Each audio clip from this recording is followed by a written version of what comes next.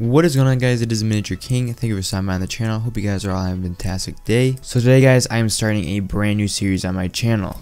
There's no specific name yet, but this is where I go in depth with all the maps in Infinite Warfare, and I'll be doing the series for the next Call of Duty in 2017, but for now it's just going to be Infinite Warfare. But I wanted to start off with DLC 1 since that just came out. So how this is going to work is I'm going to tell you what I think about the map, how does it play in certain situations, different kind of gameplay, and what I don't like about the map, and at the end I'll give it a letter grade a plus being the best and F being the worst. Hopefully I don't have to give any Fs out on this series, but we'll have to see. But to kick it off, we're going to start with Renaissance from Sabotage DLC. So guys, without further ado, make sure to drop a like on the video, and don't forget to subscribe, and let's just get right into this video. So, Renaissance. Guys, I have to say this is my favorite map in the entire Sabotage DLC. This DLC came out today, and this map plays out perfectly for what it is. So guys, Infinity Ward has said this multiple times, their multiplayer is a very fast-paced game. There's really no dull moments and you're always constantly in some form of action.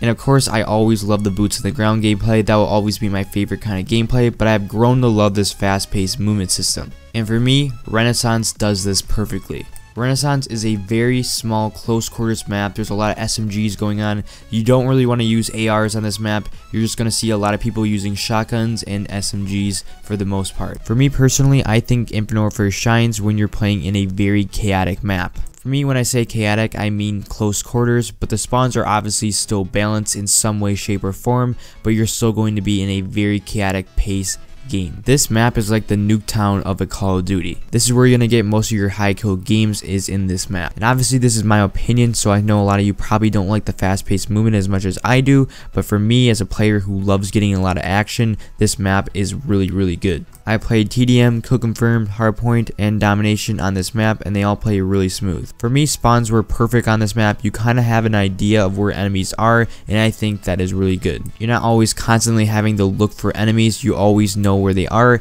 and you always are getting in action. The last thing I want to talk about is it looks beautiful. I've said this in a previous video, but Infinity Ward has done a super good job with making these maps look so good. If you guys have ever just stopped playing during a match and just look up in the sky, you can just see how much detail they actually put into these maps. This map definitely isn't my favorite map in Infinite Warfare, but it's up there. So guys, in conclusion, I'm going to give this map a B+.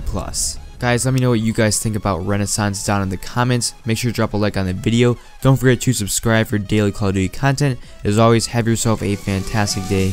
Peace out, everyone.